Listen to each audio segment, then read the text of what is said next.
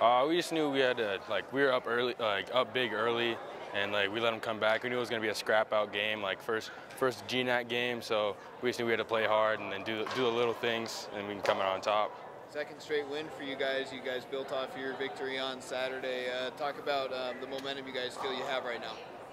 I feel like we got quite a bit of momentum, but it's kind of like a reset to every game. Like every game has its own individual things, so it's just one game at a time. Uh, one of the keys tonight was was the balance on your lineup. There were six different players who had eight or more points. Talk about that and why uh, a lot of different guys were feeling it. Uh, we just have a lot of different guys that can score in a lot of different ways, so it just helps when any time when like somebody's not getting a bucket, somebody else can go step right in, and it's just interchangeable almost. Uh, we just like had to come together. It was just like a team thing, like we always talk about, like team together. It's like we just had to keep that compact, come together, and just pull it out. Another GNAC game on uh, Saturday against Alaska Anchorage. What are your thoughts heading into that? Uh, looking forward to it. Just GNAC's a wild, wonderful thing, so we'll see how it goes. Well, I, uh, you know, to come back, uh, it didn't look good. We were fighting some foul trouble, and, and I mean, I thought our last eight minutes uh, was pretty good, and I thought our defense the last five, six minutes made a difference too. But um, back and forth game seems like each team had their rhythm going, and then they just had some inconsistencies, and I think that's probably still early in the season, but.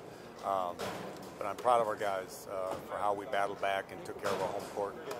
Did you sense any nerves tonight? I mean, GNAC opener, start of your conference play, such an important game to get you going momentum-wise. Were there nerves, and did those show up in the game? Well, you know, I don't. You know, I think if they're going to show up, they're going to show up early, and we got off to a great start offensively.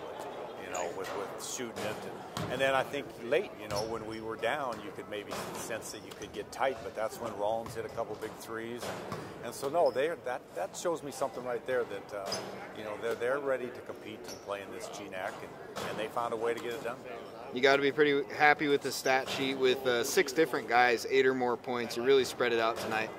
Well, it is, and the biggest thing we're trying to do is we're trying to get some balance. You know, instead of just living with the jumper, uh, you know, we're trying to get some inside-outside balance, and, and, that's usually what Newburn and Howard can do for us, is to get us some inside hoops when you need it.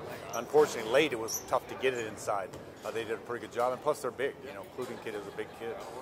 And a little bit of a break now. Uh, usually in the GNAC, it's a game day, one day off, and then another one. Well, you play Tuesday night, you're off till Saturday now. Uh, plenty of time to prepare for Alaska Anchorage. Yeah, we'll, I think, look forward to a day off tomorrow. Uh, you know, we just played six games in 14 days and uh, we're all worn out. And so hopefully we can regroup. Second GNAC game on Saturday, and then you know we kind of start getting a little more breaks. So uh, it's been a good stretch here at home for us, and looking forward to a Saturday night GNAC home game.